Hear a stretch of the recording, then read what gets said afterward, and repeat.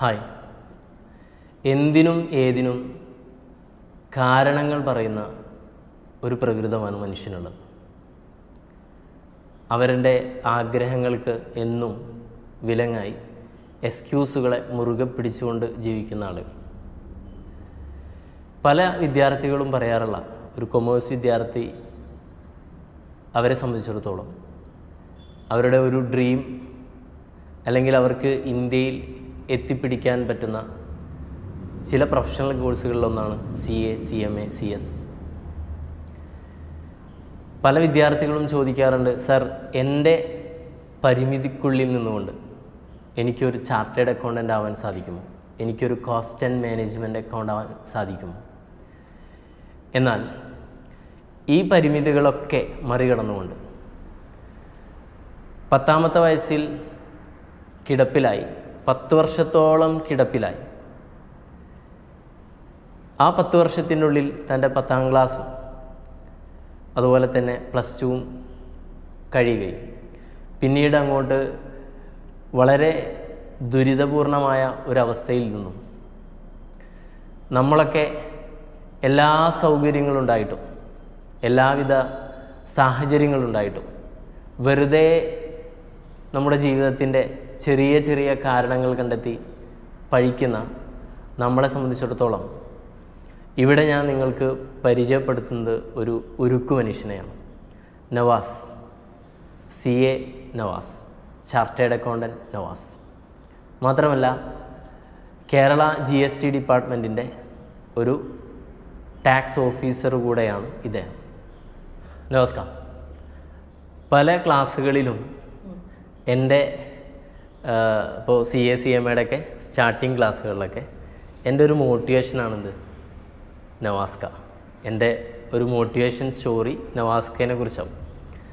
അപ്പോൾ പല കുട്ടികൾക്കും എന്ത് ചെയ്യുക ഇനി അവരെ നേരിൽ എന്ത് ചെയ്യുക നവാസ്ഖാനെ പരിചയപ്പെടുത്തുക എന്നുള്ള ഒരു ഉദ്ദേശത്തോടു കൂടിയാണ് നമ്മളിങ്ങനെ ഒരു വീഡിയോ ചെയ്യുന്നത്. ഓക്കെ? അപ്പോൾ എനിക്ക് തോന്നുന്നു നവാസ്ക നവാസ്ക തന്നെ നവാസ്കയുടെ ആ ബാല്യകാലത്തെക്കുറിച്ച് പറഞ്ഞു തുടങ്ങുകയാണെങ്കിൽ നമുക്ക് എന്ത് ചെയ്യും? ഒന്നുകൂടെ കുട്ടികൾക്ക് മനസ്സിലാക്കാനും മറ്റൊക്കെ സഹായകമാവും. തീർച്ചയായും. അപ്പോൾ എന്തായാലും സന്തോഷം ഷാക്കീറിനോടൊപ്പം കുറച്ച് സമയം ചിലവഴിക്കാൻ കിട്ടിയതിൽ ഞാൻ മലപ്പുറം ജില്ലയിലെ എടപ്പാളാണ് സ്വദേശം. പിന്നെ ചെറുപ്പത്തിലെ സാധാ ഒരു ഉപ്പ എന്ന് പറയുമ്പോൾ ഗൾഫിലായിരുന്നു. ഉപ്പ ഉമ്മ ഞങ്ങൾ അഞ്ച് മക്കളാണ്. അപ്പോൾ ഏറ്റവും ഇളയതായിട്ടുള്ള ആളാണ്. പിന്നെ ഇക്കാരും പിന്നെ ബാക്കിയുള്ള കാരണം നമ്മൾ ഭയങ്കര പാമ്പറിങ് ഒക്കെ ആയിട്ട് വളർന്ന് അതിന്റേതായിട്ടുള്ള രീതിയിൽ വളരെ സന്തോഷകരമായിട്ടുള്ളൊരു ബാല്യകാലമായിരുന്നു. അതിനുശേഷം സാധാ ഗവൺമെന്റ് സ്കൂളിൽ തന്നെയാണ് പഠിച്ചത് മലയാളം മീഡിയത്തിൽ എടപ്പാട് അംശക്കച്ചേരിയുള്ള സ്കൂളിൽ അപ്പോൾ സ്കൂൾ മദ്രസ അങ്ങനെയൊക്കെ ആയിട്ട് നമ്മൾ വളരെ ഒരു പഠിത്തത്തിലൊരു ആവറേജ് എബോ ആവറേജ് കുഴപ്പമില്ലാത്തൊരു രീതിയിലായിരുന്നു അന്നത്തെ പെർഫോമൻസ് ഒക്കെ. പിന്നീട് ഞാൻ പാസ്സായിട്ട് അഞ്ചാം ക്ലാസ്സിലെത്തി അഞ്ചാം ക്ലാസ് നമ്മുടെ എടപ്പാൾ ഗവൺമെന്റ് സ്കൂളിലേക്കായി. എടപ്പാൾ ഗവൺമെന്റ് ഹൈസ്കൂൾ അന്ന് അവിടെ അഞ്ചാം ക്ലാസ് ഒക്കെ ഉണ്ട്. അപ്പോൾ അത് കഴിഞ്ഞു സിക്സ്ത് സ്റ്റാൻഡേർഡിൽ പഠിച്ചുകൊണ്ടിരിക്കുന്ന സമയത്താണ് അന്നൊക്കെ ഹെൽത്ത് ഭയങ്കര ഫിറ്റ്നസ് ഓക്കെയാണ്. ആസ് എ നോർമൽ സ്റ്റുഡന്റാണ്. ഒരു പനി വന്നിട്ടാണ് നമ്മുടെ ഒരു ലൈഫ് തന്നെ മാറി മറിയുന്നത്. ലൈഫ് തന്നെ മാറി മറിയെന്ന് വെച്ചാൽ നമുക്ക് അന്നത്തെ ഒരു സിറ്റുവേഷനിൽ സാധാ പനിയാണ്. അല്ലാതെ നമ്മൾ വേറെ ഒരു ഇതൊന്നുമല്ല. പനി വന്നു ഓക്കെ കുഴപ്പമില്ല. ട്രീറ്റ്മെന്റുകൾ എടുത്തു. കുറച്ച് ലോങ് ടേമിൽ പനി മാറൽ തുടങ്ങി. പനി നീണ്ടുപോയി ലോങ് ടേമിൽ അപ്പോൾ നമുക്ക് ചെറിയൊരു ബുദ്ധിമുട്ടുകളൊക്കെ വരൽ തുടങ്ങി. കാലിന്റെ മുട്ടും കൈമുട്ടും എല്ലാ ഭാഗങ്ങളും ഇങ്ങനെ സ്റ്റിഫായി തോന്നൽ തുടങ്ങി. നീർക്കെട്ട് വന്നു. പിന്നെ ഭയങ്കര റെഡ് കളറായിട്ട് ഐഡന്റിഫൈ ചെയ്യാൻ തുടങ്ങി. ഇതൊക്കെ ടൈം എടുത്തിട്ടാണ്. പിന്നെ പഠിത്തമൊക്കെ അതോട് കൂടിയിട്ട് ഡ്രോപ്പായി മദ്രസ പഠനം മുടങ്ങി സ്കൂളും മുടങ്ങി. പിന്നീട് പോയിട്ടേ ഇല്ല. പിന്നീട് ഫുള്ള് ഇപ്പം ഈ പറഞ്ഞ പോലെ ആശുപത്രികളാണ് യാത്ര. മൊത്തം ആശുപത്രികളിൽ പോവുക വീട്ടിൽ നിന്ന് പുറത്തിറങ്ങുമ്പോൾ ഏതെങ്കിലും ഒരു ഹോസ്പിറ്റലിലേക്കാവും അല്ലെങ്കിൽ വളരെ വേണ്ടപ്പെട്ട ആരുടെയെങ്കിലും കല്യാണം അല്ലെങ്കിൽ ഒഴിവാക്കാൻ പറ്റാത്ത അങ്ങനെ എന്തെങ്കിലും ചടങ്ങ്. ബാക്കിയുള്ളതിനൊന്നും നമ്മളെ വായിച്ചുകൊണ്ട് പുറത്തു പോകാൻ ബുദ്ധിമുട്ടാണ്. നമ്മൾ നടന്ന് ഓടിച്ചാടി നടന്നിരുന്ന സ്പോർട്സുകളിലും ആർട്സുകളിലും ദഫ്മുട്ട് അങ്ങനെയുള്ള പ്രോഗ്രാമുകളിലൊക്കെ പങ്കെടുത്തിരുന്ന നമ്മൾ തന്നെ നമുക്കൊരു ചെറിയ വീടിന്റെ ഒരു കട്ടിൽപടി എടുത്ത് കിടക്കാൻ പോലും പറ്റാത്ത രീതിയിൽ ചുരുങ്ങിയാണ്. അപ്പോൾ ഒരാളുടെ സഹായം ഇല്ലാണ്ട് നമുക്കൊന്നും ചെയ്യാൻ പറ്റാത്ത രീതിയിൽ നമ്മൾ മാറി. വളരെ പെട്ടെന്നായിരുന്നു. ഒരു ഒരു വർഷമൊക്കെ എടുക്കുമ്പോഴത്തേനും നമ്മളാകെ വീട്ടിൽ തന്നെ ഇന്നത്തെ സമയം പറഞ്ഞ പോലെ ലോക്ക്ഡൗൺ ആയി മൊത്തത്തിൽ. പിന്നീട് എന്താ പറയുക ഇപ്പോൾ ഈ പറഞ്ഞ പോലെ കുറേ ഡോക്ടർമാരുടെ അടുത്ത് പോവുക ആശുപത്രികൾ ഡയഗ്നോസ് ചെയ്യാൻ ഡിലേ ആയി. റൊമറ്റോയിഡ് ആർത്തറൈറ്റിസ് എന്ന് പറയും. സന്ധിവാദം അതിനടുത്ത് പറയുകയാണെങ്കിൽ. അപ്പോൾ ആ രീതിയിലായിരുന്നു അത്. ഡയഗ്നോസ് ചെയ്യാൻ തന്നെ ഒരു മൂന്ന് വർഷത്തോളം എടുക്കും എടുത്തു. അതുകൊണ്ട് അതിലുണ്ടായ കുറേ ഫോൾട്ടുകൾ കൊണ്ട് നമ്മുടെ ശരീരം മൊത്തം എന്താ പറയുക അസുഖത്തിന് കീഴ്പ്പെടേണ്ടി വന്നു. ജോയിൻസൊക്കെ ദ്ര ദ്രവിക്കുക എന്ന് പറയല്ല ഒരു ഒരംശം വരെ അങ്ങനെ തന്നെയാണ്. മെഡിസിൻസൊക്കെ എടുത്ത് പിന്നീട് ചെറിയ രീതിയിലൊക്കെ റിക്കവറി ഉണ്ടാവും. പക്ഷെ ഒരു നമുക്കൊരു സിക്സ് മന്ത് നമ്മൾ കുറച്ച് വെല്ലായിട്ട് തോന്നും. പിന്നീട് വീണ്ടും പഴയ സ്റ്റേജിലേക്ക് ഇങ്ങനെ പോകും. അങ്ങനെ ഒരു അപ്പ് ആൻഡ് ഡൗൺ എന്നുള്ള രീതിയിലാണ്. അപ്പ് എന്നുള്ളത് വളരെ ചെറിയൊരു ഗ്രാഫിലായിരിക്കും. പക്ഷെ ഡൗൺ എന്നുള്ളത് വളരെ ഹൈ ആയിട്ടുള്ള ഒരു ഡെപ്തിലേക്കാവും നമ്മൾ പോവുക. അങ്ങനെ മൊത്തം എന്താ പറയുക ടൈം ഇങ്ങനെ ലാപ്സായി പോയി. നമ്മൾ ലൈഫ് എന്ന് പറയുമ്പോൾ വീടും എന്താ പറയുക വീട്ടിലെ ജനാലകളും ബാക്കിയുള്ള കാര്യങ്ങളൊക്കെ ആയി ചുരുങ്ങി. പഠിത്തം ഒക്കെ പിന്നെ വെറും നമുക്ക് എല്ലതും നമുക്ക് സ്വപ്നം മാത്രമാണ് നമ്മുടെ മനസ്സിൽ മാത്രമേ ഉണ്ടാവുള്ളൂ കാര്യങ്ങളൊക്കെ. പഠിക്കണം പഠിക്കണം എന്നുള്ള രീതി ആഗ്രഹം കൂടി കൂടി വരികയാണ്. കുറേ സാഹചര്യങ്ങളും അങ്ങനെ നമുക്ക് വരും. കാരണം വെച്ചാൽ നമുക്ക് ഒരു ആക്ടിവിറ്റീസ് നമുക്ക് ചെയ്യാൻ ഇല്ലാത്തപ്പോൾ എന്താ വെച്ചാൽ നമ്മളെ വരുന്ന കാണുന്ന ആൾക്കാർ വീട്ടിൽ ഓരോരുത്തർ ഇങ്ങനെ വരുമല്ലോ അപ്പോൾ അവരൊക്കെ കാണുമ്പോൾ ഒരു അസുഖമുള്ള ഒരു കുട്ടി എന്ന് പറയുമ്പോൾ ഭയങ്കര സിമ്പതിയാണ് എല്ലാവർക്കും അപ്പോൾ എല്ലാവരും സിമ്പതി എന്ന് പറയുമ്പോൾ നോക്കുമ്പോൾ ഉമ്മയുടെ അടുത്തൊക്കെ ചോദിക്കും എങ്ങനെയുണ്ട്? അപ്പോൾ ഉമ്മ പറയാം ഓക്കെ കുഴപ്പമില്ല. അല്ലെങ്കിൽ പെങ്ങളോടോ ജ്യേഷ്ഠന്മാരോടൊക്കെ ചോദിക്കുമ്പോൾ ആ കുഴപ്പമില്ല അങ്ങനെയെന്ന് പറയും. പിന്നെ എന്തെങ്കിലുമൊക്കെ കുറേ ഒരു ഭാഗ്യ ഭാഗ്യം കെട്ട ഒരു ലൈഫിനെ പറ്റിയിട്ട് കുറേ പറഞ്ഞു കൊടുക്കാണ്ടാവും അവർക്കൊക്കെ. അപ്പോൾ നമുക്കത് കേൾക്കുമ്പോൾ ഉള്ളിൽ ഇങ്ങനെ ഇതാവുന്നല്ലാതെ ഇങ്ങനെ ചിരിച്ചിരുന്നിട്ട് സംഗതി കേൾക്കുക എന്നല്ലാതെ ഇപ്പം ഉമ്മയുടെ അടുത്തൊക്കെ ഓരോരുത്തർ വന്നു. പിന്നെ ഒരു എക്സാമ്പിൾ പറയുകയാണെങ്കിൽ എക്സാമ്പിൾ അല്ല നമ്മുടെ ലൈഫിൽ അത് നേരിട്ടൊരു അനുഭവം പറയുകയാണെങ്കിൽ പണ്ടൊക്കെ നമ്മൾ ഈ വളമൊക്കെ വെക്കുന്ന ചെട്ടിച്ചേരുന്ന പറയുക നമ്മളങ്ങനെ വിളിക്കുക വളമൊക്കെ വെക്കുന്ന ആൾക്കാർ അവർ ഇങ്ങനെ ഒരു സഞ്ചി തൂക്കിയിട്ട് ഇങ്ങനെ വീട്ടിൽ വരുന്ന ഒരു സ്ത്രീയാണ്. വയസ്സായിട്ടുള്ളൊരു സ്ത്രീയാണ്. അപ്പോൾ ഞാനെന്തോ വീട്ടിൽ ഒരു ഉച്ച സമയമാണ്. അപ്പോൾ വീട്ടിൽ ഞാൻ വടക്കപ്പുറത്ത് ഞാൻ ഇരിക്കുകയാണ് അപ്പോൾ ഉമ്മ അപ്പുറത്തൊരു വെപ്പ് പേരുണ്ട്. അവിടെ കുക്ക് ചെയ്യാണ് ഫുഡ് ഉണ്ടാക്കുകയാണ് അപ്പോൾ ആ സ്ത്രീ ഇങ്ങനെ വന്നിട്ട് അവർക്കറിയാം നമ്മളിങ്ങനെ വയ്യ അസുഖമുള്ള കുട്ടിയാണെന്നൊക്കെ പറഞ്ഞിട്ട്. അപ്പോൾ അവർ ഒക്കെ കഴിഞ്ഞിട്ട് പോകാൻ സമയത്ത് ഉമ്മാടെ അടുത്ത് ചോദിച്ചു എങ്ങനെയുണ്ട് മോനക്ക് അപ്പം മോന് കുഴപ്പമില്ല അസുഖം കുഴപ്പമൊന്നുമില്ല കുറവാണെന്നൊക്കെ പറഞ്ഞു. അപ്പോൾ പിന്നെ അടുത്ത ഡയലോഗാണ് എന്റെ വീട്ടിലുണ്ട് ഇതേപോലെ ഒരു മുടക്കാച്ചിരക്ക് എന്ന് പറഞ്ഞിട്ട്.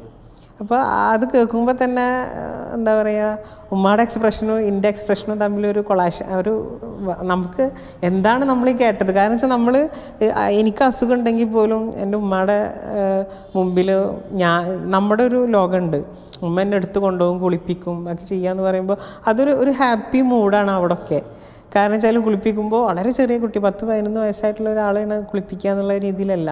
വളരെ ചെറിയ കുട്ടി എങ്ങനെയാണോ അതേപോലെ നല്ല രീതിയിലാക്കിയിട്ട് കൊടുന്ന് എടുത്തിട്ടാണ് കൊണ്ടുപോവുക എടുത്തിട്ടാണ് കൊണ്ടുവരിക. അങ്ങനത്തെ ഒരു രീതിയിലാണ്. ചിരിച്ച് കളിച്ച് ഒരു സന്തോഷമുണ്ട് എന്തൊക്കെ.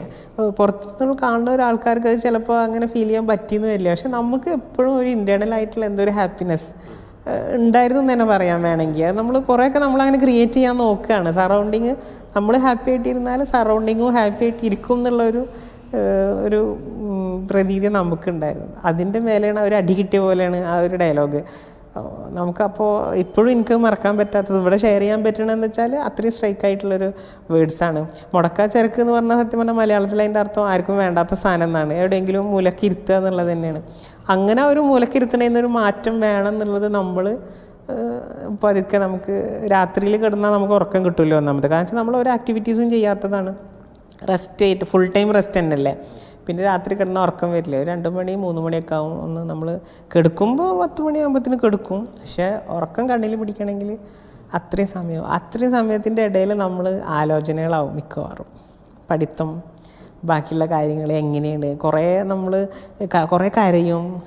നമ്മൾ ഓപ്പണായിട്ട് നമുക്ക് കരയാനൊക്കെ മടിയാണ്. പക്ഷെ എന്നാലും ഈ രാത്രികളത്തെ സമയങ്ങളൊക്കെ അങ്ങനെ സ്പെൻഡ് ചെയ്യും നമ്മൾ കുറേ കരയും. തലയണം കുറേ എന്താ പറയുക നനഞ്ഞ തലയണം എന്നൊക്കെ പറയുമല്ലോ. അങ്ങനെ നമ്മൾ ഇങ്ങനെ ഒരു നമുക്കൊരു ഒരു സ്ക്രിപ്റ്റ് ഒരു വലിയൊരു പ്ലാനൊന്നുമല്ല പക്ഷെ നമ്മളിങ്ങനെ അത് വേണം. നമുക്ക് മനസ്സിലൊരു തീരുമാനമാണ്. അതായത് മറ്റുള്ളവരുടെ വ്യൂ പോയിന്റിൽ നമ്മുടെ ഒരു പിക്ചർ ഇതാവരുത് എന്നുള്ളൊരു ഡിസിഷനാണ് ആദ്യമായിട്ട് പഠിക്കുക എന്നുള്ളത് തന്നെയാണ് ഒരു മാർഗം. കാരണം വെച്ചാൽ നമ്മുടെ ഒരു ഏരിയ കുഴപ്പമില്ലാത്തൊരു ഇത് എഡ്ജ് ഉണ്ട് എന്നുള്ളൊരു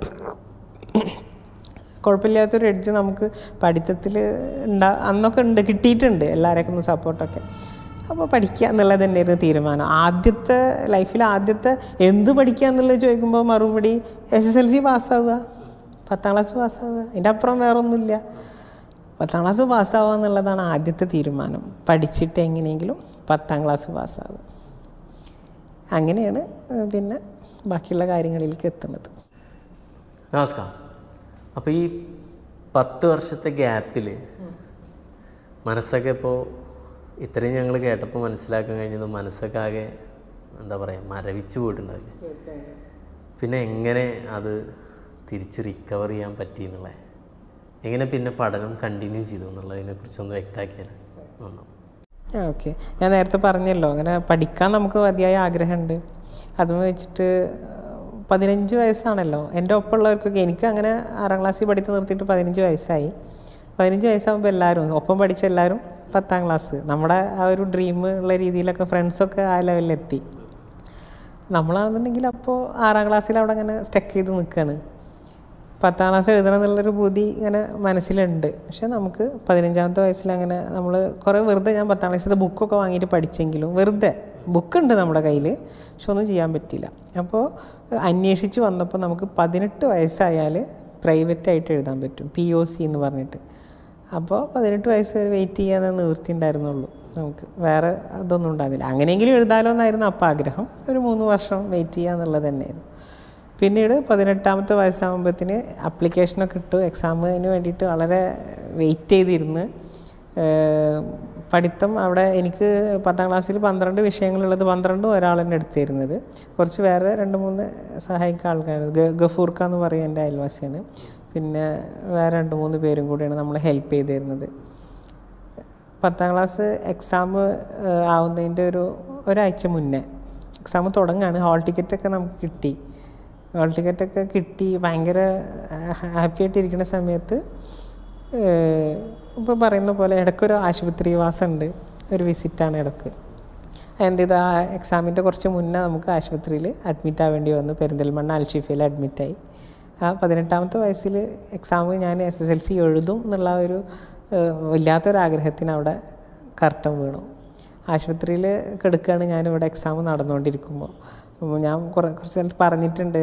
നമ്മളെന്താ പറയുക എക്സാമിന്റെ സമയത്ത് ആ വിഷയം ഏതാണോ അന്നുണ്ടാവുക ബുക്കൊക്കെ കൊണ്ടുപോയി ഉണ്ടായിരുന്നു എല്ലാം ഒന്നുമില്ല പക്ഷെ എന്നാലും ആദ്യത്തെ എക്സാമുകളുടെ ബുക്ക് അപ്പോൾ എക്സാം ഏത് എക്സാമാണോ അന്നുള്ളത് അന്ന് ഞാൻ ആ ബുക്ക് അവിടെ ഇരുന്ന് വെറുതെ മറിക്കും. അത് അതോട് കൂടിയിട്ട് അങ്ങനെ ഡ്രോപ്പായി നെക്സ്റ്റ് ഇയർ നയന്റീൻ ഏജ് പത്തൊമ്പത് വയസ്സായി. പത്താം ക്ലാസ് ഇനിയിപ്പോൾ രണ്ടാമത്തെ അറ്റംപ്റ്റാണ് ഭാഗ്യവശാൽ കുഴപ്പമൊന്നുമില്ലാതെ എഴുതാൻ പറ്റി. കുഴപ്പമില്ലാതെ പോകാൻ വെച്ചാൽ ആ സിറ്റുവേഷൻ എങ്ങനെയാ വെച്ചാൽ എന്നെ എടുത്തിട്ടാണ് കൊണ്ടുവരുന്നത്. ഇക്കാവന്മാരുണ്ട് അവർ വണ്ടിയിൽ കാറ് ഒരാൾ ഡ്രൈവറായിരുന്നു അപ്പം കാറിൽ കൊണ്ടുപോകും. അല്ലെങ്കിൽ അല്ലാത്ത ദിവസം ഓട്ടോയിൽ കൊണ്ടുപോയിട്ട് നമ്മളങ്ങനെ രണ്ട് കക്ഷത്തിലും പിടിച്ചിട്ട് കൊണ്ടുപോയിട്ട് ബെഞ്ചിൽ ഇരുത്തും. പിന്നെ ഒരു സപ്പോർട്ടിംഗ് ഒക്കെ വെച്ചിട്ടാണ് എഴുതിയിരുന്നത്. മടിയിൽ വെച്ചിട്ടൊക്കെ തന്നെ എഴുതിയിരുന്നത്. അങ്ങനെ പത്താം ക്ലാസ് എക്സാം എഴുതി. പത്ത് കൊല്ലത്തിന്റെ ഒരു ഇതിന് ശേഷം ആദ്യമായിട്ട് സ്കൂളിൽ പോവുകയാണ് ഞാൻ. അന്നത്തെ ഒരു പന്ത്രണ്ട് ദിവസം പുറത്ത് പോയത് വലിയൊരു നമുക്ക് വലിയൊരു സ്വാതന്ത്ര്യം അനുഭവിച്ച പോലെയാണ്. കാരണം വെച്ചാൽ നമ്മുടെ പിയർ ഗ്രൂപ്പിലുള്ള ആൾക്കാരായിട്ട് കമ്മ്യൂണിക്കേറ്റ് ചെയ്യാൻ പറ്റുക അതും ആ ഒരു പ്രായത്തിൽ എന്നുള്ളത് ഒരു ഭാഗ്യമാണ് ഒന്നാമത്തത്. അപ്പോൾ എന്താ പറയുക പിന്നീട് നമുക്ക് ഇനിയിപ്പോൾ ഇത് പത്താം ക്ലാസ് കഴിഞ്ഞു ഓക്കെ ജസ്റ്റ് പാസ് എന്നുള്ള രീതിയിലൊക്കെ നമ്മൾ ഉറപ്പിച്ചു. എന്തായാലും പാസ്സാവും ഇനി അടുത്തത് പ്ലസ് വൺ പ്ലസ് ടു എങ്ങനെയാണെന്നായിരുന്നു പ്ലസ് വൺ പ്ലസ് ടുവിന് ഇങ്ങനെ രജിസ്റ്റർ ചെയ്യാൻ പറഞ്ഞ് രജിസ്റ്റർ ചെയ്തിട്ടു. റെഗുലറായിട്ട് നമുക്ക് പോവാൻ ശ്രമം നടത്തിയെങ്കിലും പൂക്കരത്തറ താരത സ്കൂളിൽ തന്നെയാണ് പഠിച്ചതൊക്കെ. പക്ഷെ കുറേയൊക്കെ ഡ്രോപ്പായിട്ടാണ് നമുക്ക് അവിടെ പഠിത്തം കണ്ടിന്യൂ ചെയ്യാൻ പറ്റിയത്. പക്ഷെ എന്നാലും ഹ്യൂമാനിറ്റീസ് എടുത്തിട്ട് പ്ലസ് ടു വിദ്യാഭ്യാസം അങ്ങനെ കംപ്ലീറ്റ് ആക്കി. പ്ലസ് ടു ഫസ്റ്റ് ക്ലാസ്സോട് കൂടി പാസ്സായി പ്ലസ് ടു കഴിഞ്ഞു. അപ്പോഴൊക്കെ നമ്മുടെ സിറ്റുവേഷൻ എന്ന് പറയുമ്പോൾ സെയിം തന്നെയാണ്. ഒരു വേറെ പരസഹായം ഇല്ലാണ്ട് നമുക്ക് മൂവ്മെന്റ് പറ്റില്ല എന്നുള്ള രീതിയിൽ തന്നെ ആയിരുന്നു പിന്നെ ഡിഗ്രിയുടെ ഒരു ലെവൽ വരികയാണ്. ഡിഗ്രി എന്താ വെച്ചാൽ ഞാൻ ഹ്യൂമാനിറ്റീസ് എടുത്തിട്ട് ഏതെങ്കിലും ബി എ കോഴ്സ് കറസ്പോണ്ടന്റ് ആയിട്ട് ചെയ്യണം എന്നുള്ള ഒരു ആഗ്രഹം മാത്രമേ ഉണ്ടായിരുന്നുള്ളൂ. അപ്പോൾ ഇങ്ങനെ അന്വേഷിക്കുന്നതിന്റെ ഇടയ്ക്ക് നമ്മൾ ഒരാൾ നമ്മുടെ ഒരു വെൽവിഷർ പറഞ്ഞു ഭൂക്കരത്തറ കോളേജ് ഉണ്ട്. അവരുടെ കോളേജിൽ തന്നെ ബി കോം ഉണ്ട്. ഹ്യൂമാനിറ്റീസ് പഠിച്ച കുട്ടികളും അവിടെ ജോയിൻ ചെയ്യുന്നുണ്ട് പറഞ്ഞു. അപ്പോൾ ഞാൻ ഒരവസരമല്ല നമുക്ക് നോക്കാം. പോയി വരിക എന്നുള്ളത് ഭയങ്കര പാടാണ്. കാരണം വെച്ചാൽ നമ്മൾ അത്ര മൊബൈലല്ല അപ്പോൾ ഓട്ടോറിക്ഷയിൽ പോവാം നമുക്ക് ഫിനാൻഷ്യലി അന്ന് കുറച്ച് ഡൗ വീട്ടിലെ സാഹചര്യങ്ങൾ കുറച്ച് മോശമായിരുന്നു. പക്ഷേ കാർ ഗൾഫിൽ കാർ ഗൾഫിലായിരുന്നു. അപ്പോൾ അവരുടെ സഹായം പിന്നെ ഭയങ്കര അങ്ങനെ കുറേ ഒരു ഫിനാൻഷ്യലി ഒക്കെ ഒന്ന് ഒരു ടെമ്പററി ആയിട്ട് നമുക്കൊന്ന് നോക്കാം എന്നുള്ള രീതിയിൽ സ്റ്റാർട്ട് ചെയ്തു. ഓട്ടോയിൽ ഡെയിലി പോയി വരും.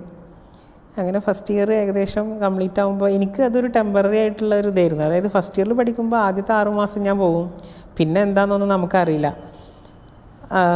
പിന്നെ എന്ത് ചെയ്തു? നമുക്ക് ഫസ്റ്റ് ഇയർ ഇങ്ങനെ തീരാനുള്ള ഒരു സമയമാകുമ്പോൾ പിന്നെ നമുക്ക് മെന്റലി നമുക്ക് പറയൽ തുടങ്ങി. എന്തായാലും ഡിഗ്രി കംപ്ലീഷൻ അത് നമ്മൾ എന്തായാലും കംപ്ലീറ്റ് ചെയ്യും എന്നുള്ള രീതിയിൽ. പിന്നെ അതിന്റേതായിട്ടുള്ള വഴികൾ നമുക്കും ഇങ്ങനെ ഓരോന്ന് വരൽ തുടങ്ങി. ഫിനാൻഷ്യൽ ഇപ്പോൾ ഓട്ടോ ചാർജും കാര്യങ്ങളൊക്കെ ഇപ്പോൾ ഈ സഹായങ്ങളെല്ലാം ഉണ്ട് അപ്പോഴും. എന്നാൽ അത് കൂടാതെ തന്നെ എക്സ്ട്രാ ഒരു ഏണിങ്സ് നമുക്ക് ട്യൂഷൻ എടുത്തിട്ട് വീട്ടിൽ കിട്ടാനും തുടങ്ങി. അപ്പോൾ നമുക്ക് എന്താ പറയുക നമ്മ നമ്മുടേതായിട്ടുള്ള രീതിയിൽ കുറച്ച് കാര്യങ്ങൾ വരുമ്പോൾ നമുക്ക് മെന്റലി ഭയങ്കര സപ്പോർട്ട് ഒരു ഒരു ഒരു ഊർജമാണ് അതോടൊക്കെ ആയിട്ട് ഡിഗ്രി എന്താ പറയുക ബി കോം മൂന്ന് വർഷം നല്ല വളരെ സക്സസ്ഫുള്ളായിട്ട് കംപ്ലീറ്റ് ചെയ്യാൻ പറ്റി. അവിടുത്തെ ആ കോളേജിലത്തെ തന്നെ ആ ഞങ്ങളുടെ ബാച്ചിലത്തെ തന്നെ ടോപ്പ് സ്കോററായിട്ട് ഡിഗ്രി കംപ്ലീറ്റ് ചെയ്യാനും പറ്റി ബി കോം അതാണ് ഒരു ഇനി ഞങ്ങൾക്കൊക്കെ അറിയേണ്ടത് ഞങ്ങളൊക്കെ ആകാംക്ഷയോടെ കാത്തിരിക്കുന്നത് എങ്ങനെ ഒരു ചാർട്ടേഡ് അക്കൗണ്ടന്റായി അതിലേക്കുള്ള ടേണിംഗ് പോയിന്റുകൾ എന്തൊക്കെയായിരുന്നു? അതിന്റെ പ്രചോദനം. സി എ കോഴ്സിനെ പറ്റി പറയുകയാണെങ്കിൽ ആദ്യമായിട്ട് കേൾക്കുന്നത് ഞാൻ ഹ്യൂമാനിറ്റി പ്ലസ് ടു പാസ്സായി നിൽക്കുന്ന സമയത്ത് ഒരാൾ പറഞ്ഞു എന്റെ അടുത്ത് സി എ ചെയ്തോന്ന് അപ്പോൾ അന്ന് ഞാൻ അവർ പറഞ്ഞു ഞാൻ ഹ്യൂമാനിറ്റീസ് ആണ് എനിക്ക് ചെയ്യാൻ പറ്റില്ല എന്നുള്ള രീതിയിൽ അന്ന് ഞാൻ പറഞ്ഞു അവരുടെ അടുത്ത്. പിന്നെ ബി കോം ചെയ്യുന്ന സമയത്ത് സി എ കോഴ്സിനെ പറ്റി ടീച്ചേഴ്സൊക്കെ ഇൻട്രൊഡക്ഷനൊക്കെ തന്നിട്ടുണ്ടായിരുന്നു. പക്ഷെ നമുക്കതൊന്നും കാരണം വെച്ചാൽ ഒന്നാമത്തത് നമ്മളിവിടെ എവിടെയും തൃശ്ശൂർ പോകണം അത് ചെയ്യാൻ വേണ്ടിയിട്ട്. കോളേജിൽ തന്നെ ഞാൻ പോണ കഷ്ടപ്പാട് അന്ന് നമുക്കറിയുള്ളൂ പോയി വരുന്നത് തൃശ്ശൂർ അല്ലെങ്കിൽ ചെന്നൈയിലൊക്കെ പോയിട്ട് വേണം ഇതിന്റെ കോഴ്സ് പഠിക്കാൻ പിന്നെ അത് കൂടാതെ മൂന്ന് വർഷത്തെ ആർട്ടിക്കൽഷിപ്പ് നമ്മൾ ഒരാളുടെ കീഴിൽ നിർബന്ധമായിട്ട് ചെയ്യണം. ആ അപ്പോൾ അതൊക്കെ ആലോചിക്കുമ്പോൾ നമുക്കൊന്നും അത് ഒരിക്കലും ചെയ്യാൻ പറ്റില്ല എന്നുള്ള രീതിയിൽ ഹൺഡ്രഡ് പെർസെന്റേജ് ഞാനത് ലോക്കാക്കി വെച്ചിട്ടുള്ളൊരു സംഭവമായിരുന്നു. എനിക്കൊരു ആഗ്രഹം എന്താണെന്ന് വെച്ചാൽ പി എസ് സി എഴുതിയിട്ട് എവിടെയെങ്കിലും. ഗവൺമെന്റ് ജോബ് എന്നുള്ള രീതിയിൽ ഒരു ആഗ്രഹമായിരുന്നു അന്നുണ്ടായിരുന്നത്.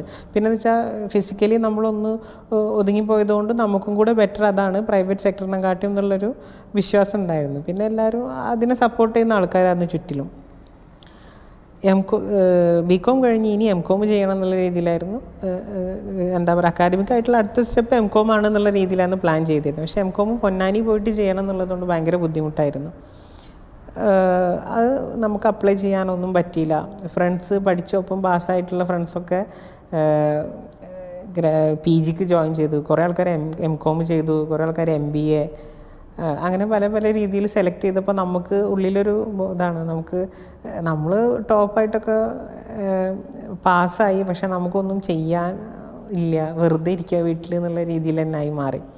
അപ്പോഴാണ് നമുക്ക് എടപ്പാൾ തന്നെ ഒരു സി എ കോച്ചിങ് സെന്ററിനെ പറ്റിയിട്ട് എടപ്പാൾ ആദ്യമായിട്ട് ലോഞ്ച് ചെയ്യണം അവർ അപ്പോൾ നമ്മുടെ വീട്ടിലേക്ക് ഒരു ലെറ്റർ വന്നു. അങ്ങനെ സി സി എ എൻട്രൻസ് ആണ്. സി പി ടി എന്നാണ് പേര്. ആറ് മാസത്തെ കോഴ്സാണെന്ന് ഞാൻ ആ കോഴ്സിന്റെ ഡ്യൂറേഷൻ മാത്രമേ നോക്കിയുള്ളൂ. ആറ് മാസം. ആറ് മാസം ഒരാളെടുത്ത് എനിക്ക് പറയാൻ എന്തെങ്കിലും ഒരു സബ്ജക്റ്റ് അതായത് അവർ ചോദിക്കും എന്താ പഠിക്കണത്? എന്നൊക്കെ എല്ലാവരും ചോദിക്കൽ തുടങ്ങി പിന്നീട്. അസുഖത്തിൽ നിന്നും. ഞാൻ നേരത്തെ പറഞ്ഞ പോലെ ആദ്യം കണ്ട അസുഖത്തിന് മാത്രം പറ്റി ചോദിക്കുന്നതിൽ നിന്ന് മാറിയിട്ട് എന്ത് പഠിക്കുക അല്ലെങ്കിൽ എന്തായി പഠിത്തം എന്തായി എന്നുള്ള രീതിയിൽ ചെറിയൊരു ഡൈവേഷൻ ഉണ്ടായി ചോദ്യത്തിലൊക്കെ. അപ്പോൾ ആ ചോദ്യത്തിന് മറുപടി പറയാൻ വേണ്ടിയിട്ട് സി പി ടി ചൂസ് ചെയ്ത്. ആറുമാസം നമുക്ക് വളരെ ഫ്രീ ആയിട്ട് മറുപടി പറയാൻ പറ്റും. എന്നിട്ട് ഞാനടുത്ത് ആളെ ചോദിക്കുമ്പോൾ പറഞ്ഞ സി പി ടി പറഞ്ഞ ഒരു അക്കൗണ്ടിങ് കോഴ്സാണ് ചെയ്യാമെന്ന് പറഞ്ഞിരുന്നു. അങ്ങനെ ഒരു ഒരിക്കലും പ്ലാൻ ചെയ്യാതെ നമ്മുടെ ഒരു ടെമ്പററി ആയിട്ട് കുറച്ച് ആൾക്കാർ ഒരു ആൾക്കാരെ സാറ്റിസ്ഫൈ ചെയ്യാന്നല്ല മെന്റലി നമുക്കുള്ള ഒരു വിരക്തി ഒഴിവാക്കാൻ വേണ്ടിയിട്ട് മാത്രം ജോയിൻ ചെയ്തിട്ടുള്ള ഒരു സംഭവമാണ്. എന്നിട്ട് അവിടെ ജോയിൻ ചെയ്തു. സെന്ററിൽ ജോയിൻ ചെയ്തു നേരത്തെ പറഞ്ഞ ഇൻസ്റ്റിറ്റ്യൂട്ടിൽ ജോയിൻ ചെയ്തു. ഏകദേശം പറഞ്ഞ പോലെ ആറ് മാസത്തോളം കോഴ്സ് അറ്റൻഡ് ചെയ്തു. എക്സാം എഴുതാൻ വേണ്ടിയിട്ട് തൃശ്ശൂർ പോയി. ഫ്രണ്ട്സൊക്കെ കൂടിയിട്ട് ഞങ്ങളെല്ലാവരും പാടെ ഒരു വണ്ടി വിളിച്ചിട്ടാണ് പോയത്. എക്സാം എഴുതി തിരിച്ചു വന്നു. പിന്നെ നമ്മുടെ ഒരു മനക്കണക്കാണല്ലോ നെഗറ്റീവ് മാർക്കും കാര്യങ്ങളൊക്കെ. മനക്കണക്ക് കൂട്ടി നോക്കിയിട്ട് ആകെ വളരെ കുറച്ച് ഇത് നമ്മൾ അറ്റൻഡ് ചെയ്തിട്ടുള്ളൂ. മീൻസ് പാസ്സാവാൻ വേണ്ടിയിട്ട്. ഒരു നെഗറ്റീവ് മാർക്ക് ഉള്ളതുകൊണ്ട് അതിന്റെ ഒരു സ്ട്രാറ്റജി വെച്ചിട്ട് അങ്ങനെ അറ്റൻഡ് ചെയ്തതാണ്. എത്ര പെസിമിസ്റ്റിക് ആയിട്ടുള്ള ഒരു കാൽക്കുലേഷൻ നടത്തിയാലും നൂറിന് മേലെ പോകുന്നുണ്ട് നമ്മുടെ മാർക്ക് നമ്മുടെ ഒരു സെൽഫായിട്ടുള്ള കമ്പ്യൂട്ടേഷനിൽ അപ്പോൾ നമുക്ക് പിന്നെ നമ്മൾ പാസ്സാവുകയാണല്ലോ പഠിച്ചാൽ ഇനിയിപ്പോൾ അടുത്ത സ്റ്റെപ്പ് എന്താണ്? നമുക്കിങ്ങനെ കുറേ ആലോചിക്കും. പിന്നെ നോക്കുമ്പോഴൊക്കെ ഉറപ്പിച്ച് മെന്റലി നമ്മൾ ഓക്കെ പിന്നെ പുറത്ത് പറയുമ്പോൾ അറിയില്ല എന്നൊക്കെ പറഞ്ഞിട്ട് നിൽക്കും പക്ഷേ ഞാൻ ഉള്ളിൽ ഇങ്ങനെ അടുത്ത സ്റ്റെപ്പിന് ഐ പി സി സി നമുക്ക് പ്ലാൻ ചെയ്തുകൊണ്ടിരിക്കുകയാണ് എടപ്പാൾ എവിടെ ഇല്ല സെന്റർ തൃശ്ശൂർ തന്നെയാണ് ശരണം. തൃശ്ശൂർ തൃശ്ശൂർ കോഴിക്കോട് പാലക്കാട് എറണാകുളം അതൊക്കെയാണ് നമ്മുടെ ഏരിയയിലുള്ളത്. അപ്പോൾ ഞാൻ ഇവിടേക്കൊക്കെ ഇരുന്നിട്ട് ഫോൺ ചെയ്യും. അതിന്റെ കാറ്റലോഗ് ഉണ്ടായിരുന്നല്ലോ നമ്മുടെ അതിന്റെ പ്രോസ്പെക്ടസ് ഉണ്ടല്ലോ സി പി ടിയുടെ അതിലെടുത്തിട്ട് എല്ലായിടത്തും കോൾ ചെയ്തിട്ട് അവിടെ ഹോസ്റ്റലുണ്ടോ ഹോസ്റ്റലുണ്ടോ എന്നൊക്കെ. ഹോസ്റ്റലില്ല എന്നുള്ള കാര്യം യാഥാർത്ഥ്യം പിന്നീടാണ് അറിയുന്നത് പക്ഷേ എല്ലായിടത്തും വെറുതെ ഞാൻ വിളിച്ചു ചോദിക്കും ഹോസ്റ്റലുണ്ടോ എന്നൊക്കെ പറഞ്ഞിട്ട്. തൃശ്ശൂർക്ക് ഡയൽ ചെയ്തിട്ട് അവരുടെ അടുത്ത് ഈ ചോദ്യം ചോദിച്ചപ്പോൾ അവരിന്റെ പേര് ചോദിച്ചത് എന്താണ് അപ്പോൾ നവാസ് എന്ന് പറഞ്ഞപ്പോൾ പറഞ്ഞു ഒരു മുസ്ലിം ഹോസ്റ്റൽ ഞങ്ങളുടെ തൊട്ടടുത്തുണ്ട് എം ഐ സി എന്നാണ് പേര്. അവിടെ പഠി അവിടെ നിൽക്കാൻ പറ്റാവുന്നതാണ്. അവിടെ അന്വേഷിച്ച് നോക്കുക അതൊരു പ്രൈവറ്റ് ഹോസ്റ്റലാണെന്ന്. അപ്പോൾ നമുക്കൊന്ന് ക്ലിക്കായി. അപ്പോൾ റിസൾട്ട് വരട്ടെ എന്താ വെച്ചാൽ ചെയ്യാമെന്ന് വെച്ചിട്ട് റിസൾട്ട് വന്നു പറഞ്ഞ പോലെ ക്ലിയർ ചെയ്തു. സി പി ടി ക്ലിയർ ചെയ്തു. പിന്നെ നെക്സ്റ്റ് സ്റ്റെപ്പ് ഞാൻ എന്റെ ബ്രദറുണ്ട് അപ്പോൾ ആളുടെ അടുത്ത് ഞാൻ പറഞ്ഞു എന്താ ചോദിച്ചാൽ ഞാൻ തൃശ്ശൂർ നിന്ന് പഠിക്കാൻ പോവുകയാണെന്ന് പറഞ്ഞു. നിന്ന് പഠിക്കാൻ പോകുക വെച്ചാൽ വീട്ടിൽ തന്നെ നേരെ പോലെ നിൽക്കാനും ഇരിക്കാനും പറ്റാത്ത ഞാൻ തൃശ്ശൂർ പോയിട്ട് ഇൻഡിപെൻഡന്റ് ആയിട്ട് പഠിക്കാമെന്ന് പറയുമ്പോൾ ഫാമിലിക്കൊന്നും അത് ഇതാണ്. അപ്പോൾ ഞാൻ പറഞ്ഞു നമുക്കൊന്ന് പോയി നോക്കാം നോക്കാം എന്നുള്ള രീതിയിൽ അങ്ങനെ ഒരു ദിവസം ബ്രദറും ഞാനും ഫ്രണ്ടും പാടെ പോയി നോക്കി തൃശ്ശൂർ പോയി നോക്കി.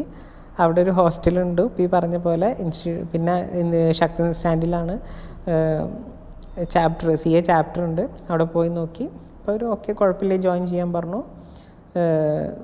മറ്റേ ഹോസ്റ്റലിൽ എം ഐ സി എന്നുള്ള ഹോസ്റ്റലിൽ അവിടെ സ്റ്റേ കിട്ടി. ഒരുപാട് സ്റ്റുഡൻസിന്റെ അവിടെ ഉണ്ടായിരുന്ന മെഡിക്കലും എഞ്ചിനീയറിങ്ങും എൻട്രൻസ് എഴുതുന്ന കുട്ടികളുടെയും പിന്നെ സി എ ചെയ്യുന്ന കുട്ടികളുടെയൊക്കെ ഒരു ഒരു പൊതിയിലാണ്. പിന്നെ നമ്മളെടുത്ത് പൊക്കി കൊണ്ടുപോകാന്നൊക്കെ പറയില്ല? അത് നമ്മൾ അനുഭവിക്കുക തന്നെ വേണം. അവിടെ ചെല്ലുന്നിട്ട് നമ്മൾ ഹോസ്റ്റലിലേക്ക് നടന്നു പോകാൻ ആകെ നൂറ് ഇരുന്നൂറ് മീറ്റർ ഇല്ല ഹോസ്റ്റലിൽ നിന്ന് ഇൻസ്റ്റിറ്റ്യൂട്ടിലേക്ക് പോകാൻ പക്ഷെ അത് അതുമ്മ കൊണ്ടുപോകാനും കൊണ്ടുവരാനും വണ്ടിയിട്ട് ആളുണ്ട്. പിന്നെ ഹോസ്റ്റലിൽ നിന്ന് മെസ്സിലേക്ക് ഭക്ഷണം കഴിക്കാൻ പോകാൻ പറ്റാത്തതായതുകൊണ്ട് അവിടെ നിന്ന് ഇങ്ങോട്ട് നമ്മൾ ഇരിക്കുന്ന ഒരു ടേബിളിൽ കൊണ്ട് വന്ന് വെച്ച് തരും ഭക്ഷണം. അതിന് വരെ ആൾക്കാരായിരുന്നു.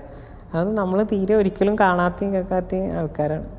നമ്മളെ പ്രായം കൊണ്ടും നമ്മളൊക്കെ അനിയന്മാരായിട്ട് വരുന്ന രീതിയിലുള്ള കുട്ടികളാണ്. അവരുടെയൊക്കെ സപ്പോർട്ട് പിന്നെ ഹോസ്റ്റലിലത്തെ ജീവന എല്ലാവരും അതെ ഭയങ്കരമായിട്ടുള്ള സപ്പോർട്ടാണ് അപ്പോൾ നമുക്ക് നമ്മൾ ഇവിടുന്ന് ആ ഒരു ഞാൻ തീരുമാനിക്കുകയാണ് വീട്ടിൽ തന്നെ നമുക്ക് അങ്ങോട്ടും ഇങ്ങോട്ടും മൂവ് ചെയ്യാൻ ഭയങ്കര കുറവാണെന്നുള്ളതാണ്. അപ്പോൾ അങ്ങനത്തെ ഒരു സമയത്ത് ഞാൻ ആ തീരുമാനം എടുത്തിട്ടില്ല എന്നുണ്ടെങ്കിൽ അന്ന് ആ ഒരു ലേഡി പറഞ്ഞ പോലെ ഒരു പക്ഷെ അത്ര അല്ലെങ്കിലും ഒരു പരിധി വരെ അങ്ങനെ ഒതുക്കപ്പെടും. അന്ന് അങ്ങനെ ഒരു തീരുമാനം എടുത്ത കാരണം. ഒരു നമ്മളുണ്ടല്ലോ നമ്മുടേതായിട്ടുള്ള ബാരിയേഴ്സ് നമ്മളൊന്ന് പൊട്ടിച്ചിട്ട് പുറത്ത് കിടക്കുക എന്നുള്ളതായിരുന്നു നമ്മളൊരു കംഫർട്ട് സോണിൽ നമ്മളിങ്ങനെ കുടുങ്ങി പോയാൽ അത് അവിടെ തന്നെ ആവും. നമുക്ക് എല്ലാവർക്കും ഉണ്ടാവും അങ്ങനെ. കംഫർട്ട് സോണിൽ ഇരുന്നിട്ട് നമ്മൾ ജീവിക്കുക എന്നുള്ള താല്പര്യത്തോട് കൂടിയിട്ടാവും. അന്ന് അങ്ങനെ ഒരു കംഫർട്ട് സോൺ ആദ്യമായിട്ട് ബ്രേക്ക് ചെയ്യാൻ പറ്റിയ കാരണം വലിയൊരു ഇമ്പ്രൂവ്മെന്റ് ഉണ്ടായിരുന്നത്. മെന്റലി ഫിസിക്കലി അതെ. ഫിസിക്കലി ഒരുപാട് ഇമ്പ്രൂവ്മെന്റ് ഉണ്ടായി. മെഡിസിനൊക്കെ വളരെ കുറവായിട്ട് ഉപയോഗിക്കാൻ തുടങ്ങി. പിന്നെന്താ വെച്ചാൽ ഒന്നാമത്തെ എനിക്ക് സമയമില്ല. ചിന്തകൾ മാറി. പഠിത്തത്തിൽ കുറച്ചും കൂടെ സീരിയസ് ആയിട്ട് വരാൻ തുടങ്ങി. കാരണം വെച്ചാൽ മെന്റലി നമ്മൾ ഭയങ്കര ഹാപ്പിയാണ് ഒരു പീക്കിൽ ചെന്ന് നിൽക്കുകയാണ് കാരണം വീട് വിട്ട് നിൽക്കുക എന്നുള്ളത്. ബാക്കിയുള്ളവരെ സംബന്ധിച്ചിടത്തോളം വീട് വിട്ട് ഹോസ്റ്റലിലേക്ക് പോകുക എന്ന് പറയുമ്പോൾ അത് അത്ര സന്തോഷമുള്ള കാര്യമൊന്നും എനിക്ക് തോന്നുന്നില്ല. പക്ഷേ എനിക്കെന്താ വെച്ചാൽ അത് ഭയങ്കര സന്തോഷമായിരുന്നു. വീട്ടിലത്തെ അറ്റ്മോസ്ഫിയർ ശരിയാവാണ്ടല്ല വീട്ടിൽ നമ്മൾ ഭയങ്കര ഹാപ്പി ആയിട്ട് നിൽക്കണം. പക്ഷേ അതല്ല ആ ഒരു ഇൻഡിപെൻഡന്റ് ആവണതിന്റെ ഒരു ഫീൽ ഉണ്ടല്ലോ. അത് അത് എൻജോയ് ചെയ്തിട്ടായിരുന്നു ഞാൻ തൃശ്ശൂർ നിന്നായിരുന്നത് അങ്ങനെ അവിടെ ക്ലാസ്സൊക്കെ നല്ല ഉഷാറായി നടന്നു. ഇന്റർ ഫസ്റ്റ് എഴുതി അറ്റംപ്റ്റ് ആസ് യൂഷ്വൽ ഫെയിലായിരുന്നു സെക്കൻഡ് അറ്റംപ്റ്റ് എഴുതി. ബോത്ത് ഗ്രൂപ്പോട് കൂടി പാസ്സായി ഫസ്റ്റ് ഗ്രൂപ്പ് കോച്ചിങ് ഉണ്ടായിരുന്നു. സെക്കൻഡ് ഗ്രൂപ്പ് ഞാൻ ഇനിയിപ്പോൾ ഡ്രോപ്പ് ചെയ്യാണ്. എനിക്ക് വയ്യ. കാരണം വെച്ചാൽ ഇവിടുന്ന് നമ്മൾ എക്സാം എഴുതാൻ പോകുമ്പോൾ ഒരു കാറിൽ ബെഡും എല്ലാം കൂടെ ചേർത്ത് ഷിഫ്റ്റ് ചെയ്യണം ഹോസ്റ്റലിലേക്ക് അതൊക്കെ ഭയങ്കര പാടായപ്പോൾ ഞാൻ വിചാരിച്ചു കഴിഞ്ഞപ്പോൾ ഇത് സെക്കൻഡ് അറ്റംപ്റ്റ് തീർന്നു നിർത്താമെന്ന് പറഞ്ഞിട്ടുള്ള ഒരു തീരുമാനത്തോട് കൂടിയിട്ട്. പക്ഷേ ആ അറ്റംപ്റ്റിൽ ഫസ്റ്റ് ഗ്രൂപ്പും സെക്കൻഡ് ഗ്രൂപ്പും ക്ലിയറായി ബോത്ത് അറ്റംപ്റ്റ് കിട്ടിയിട്ട് ഫൈനലിലേക്ക് എൻറോൾ ചെയ്തു. ഫൈനലിന്റെ എൻറോൾ ചെയ്തുമ്പോൾ സി എ ഇന്റർ കംപ്ലീറ്റ് ചെയ്തോട് കൂടിയിട്ട് അടുത്ത ഒരു സ്റ്റെപ്പ് നമ്മൾ കംപ്ലീറ്റ് ചെയ്തു എന്ന് പറഞ്ഞിട്ട് നമ്മൾ പിന്നെ അടുത്ത കൈ കെട്ടിയിട്ട് ഇരിക്കാനുള്ള ഒരു തീരുമാനമാണ് അപ്പോൾ ആർട്ടിക്കിൾഷിപ്പ് എന്ന് പറയുമ്പോൾ നമുക്ക് പറ്റൂല. അത് ഹോസ്റ്റലിൽ ഇരിക്കുമ്പോൾ അത് ഫ്രണ്ട്സിന്റെ ഇടയിലൊക്കെ സംസാരിക്കുമ്പോൾ ആർട്ടിക്കിൾഷിപ്പ് ഏയ് അത് പാടാണെന്ന് ഞാനും പറയും അവരും സമ്മതിക്കും. കാരണം വെച്ചാൽ ഫയൽ ആയിട്ട് അങ്ങോട്ടും കൊണ്ടും പോവുക ബാങ്ക് ഓഡിറ്റിന് പുറത്ത് പോവുക അല്ലെങ്കിൽ അവിടെ അവിടെ അങ്ങനെയൊക്കെ പറയുമ്പോൾ അതൊന്നും നമുക്ക് ഒരിക്കലും ഏഹ്, ചെയ്യാൻ പറ്റാത്തൊരു സാഹചര്യം വെച്ചാൽ സംഭവം തന്നെയാണ് ആക്ച്വലി. ചെയ്യാൻ പറ്റില്ല നമുക്ക് ഉറപ്പാണ്. നമ്മളത് അക്സെപ്റ്റ് ചെയ്തിരുന്നു. ഒരു ഫ്രണ്ട് വിളിച്ചിട്ട് പറഞ്ഞു അങ്ങനെ ഇന്റർ ഓൾറെഡി കംപ്ലീറ്റ് ചെയ്തല്ലോ. ഇനി സമയം വെറുതെ ലാപ്സ് ചെയ്യണം. അപ്പോഴും ഞാൻ പറഞ്ഞു സി ഇന്റർ ചില പി എസ് സി പരീക്ഷകൾക്കൊക്കെ യോഗ്യതയാണ്. അപ്പോൾ ഞാൻ അത് വെച്ചിട്ട് അങ്ങോട്ട് പോകുന്നത് ഹൺഡ്രഡ് പെർസെന്റ് ഞാൻ അതിന് പ്രിപ്പയർ ചെയ്തിട്ടില്ല. പക്ഷെ മനസ്സിൽ ഇടയ്ക്കിടയ്ക്ക് അങ്ങോട്ട് ഡൈവേർട്ട് ആവാറുണ്ട്. അപ്പോൾ ഇത് പറഞ്ഞു നമുക്ക് ജോയിൻ ചെയ്യാം ഇൻ ആർട്ടിക്കിൾഷിപ്പിന് എന്ന് പറഞ്ഞിട്ട്. അപ്പോൾ അവന്റെ ഒക്കെ ഒരു ഇതും കൂടെ കാരണം ഞാൻ എന്ത് ചെയ്തു? ആർട്ടിക്കിൾഷിപ്പിന് ചേർന്നു. ആർട്ടിക്കിൾഷിപ്പിന് ചേർന്നു. അലഹമില്ല ആർട്ടിക്കിൾഷിപ്പിന് ചേർന്നിട്ട് ഒരു ഓഫീസിൽ തൗഫീഖ് ആൻഡ് അസോസിയേറ്റ് പറയാം എടപ്പാൾ സാറിന്റെ ഒരു സപ്പോർട്ടാണ് അടുത്ത ഒരു ഇത് വരുന്നത്. സാറ് നമ്മളെ ഒരു ഇതുണ്ടല്ലോ. അപ്പോൾ അന്നത്തെ ഒരു സിറ്റുവേഷനിൽ നമ്മളെ കാണുമ്പോൾ ആ ആൾക്ക് കുറച്ചൊരു ഫിസിക്കലി ആൾ വീക്കാണ്. അപ്പോൾ ആ രീതിയിലുള്ള കാര്യങ്ങൾ ചെയ്താൽ മതിയെന്നോ? അല്ലെങ്കിൽ ആ രീതിയിലുള്ള വർക്കുകൾ വേണ്ടെന്നോ? അങ്ങനെയൊന്നുമല്ല സാറിന്റെ ഒരു ഓഫീസിലത്തെ മറ്റുള്ള എല്ലാവരും എങ്ങനെയാണ്? ഒരുപാട് അതിനേക്കാൾ കൂടുതൽ നമുക്ക് കാര്യങ്ങളും ചുമതലകളൊക്കെ ഏൽപ്പിച്ച് തന്നു തുടങ്ങി.